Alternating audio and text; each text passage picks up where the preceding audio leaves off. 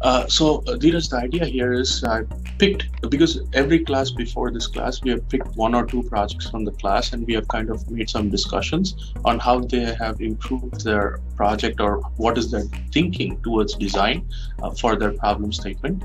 And uh, today I picked two uh, you know, people from the class. One is Charlotte and uh, and Benjamin right? Uh, because the background of their project is about e-manga. Manga is like a comic series that we discussed earlier. And then Lucy, who has a discussion on a case study for a company. And then recently, I'm very interested when I was reading her report because she built the analytics pipeline diagram, right? So I'm, I'm kind of interested. So I think when she shares this information with the class, maybe they'll be interested to look at how the analytic pipeline works or something. Okay. So uh, I made my paper on the um, on Sephora case about uh, the retail industry that uh, is drastically reinventing uh, its process and uh, strategy uh, through digitalization. -huh. So here it's a brief introduction about digitalization definition and some Sephora key figures. So if you want to have a look after, maybe. So uh, my first point is about the supply chain digitalization at Sephora. So the reason to digitalize the supply chain are the huge opportunity uh, to implement uh, efficient process, process through decision making based on data and advanced analytics, uh, also interconnectivity uh, through customers and stakeholders, and also the innovation of service and products uh, through the automation of production process. And the second opportunity is to follow globalization through the e-commerce rise and the interconnectivity through the Sephora supplier, distributor, manufacturer, because uh, as you can see, all the stakeholders are implied the, in the digital uh, process. So uh, the digital project department, the marketing, uh, the manufacturer uh, that uh, they have to adapt and produce with digital machine, mm-hmm. also the IT, the customer that change demands in the digital age, and the audit. So digitalization can, can impact the, mono- the monitor process and uh, ensure a, a, better traceability of products. So um, the digital investment uh, at Sephora in the supply chain, uh, our first uh, central IT solution, uh, ERP uh, software from SAS, for a better consolidation and transparency of real-time data. Also, better communication through stakeholders an optimization of warehouse and logistic, a better management of inventory and the risk management. Also, uh, they invest in a KUKA robot. It's a robot um, that uh, optimizes the production uh, process. So uh, it's a gain of time and uh, employee energy.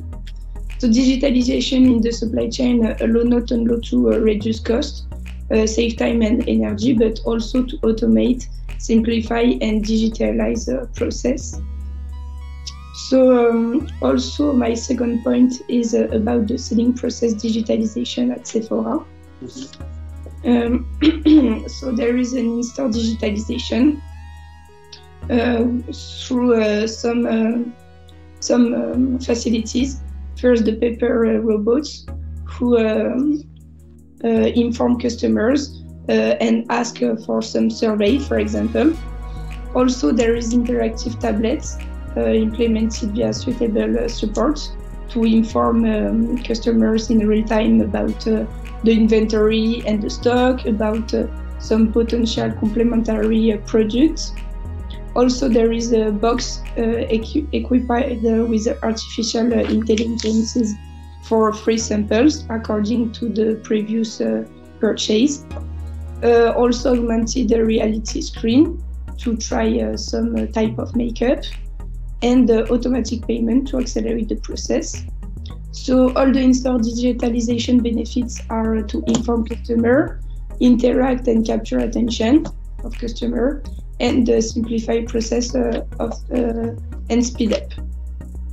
So all this um, in-store digitalization uh, create a more interactive and fun way of purchasing.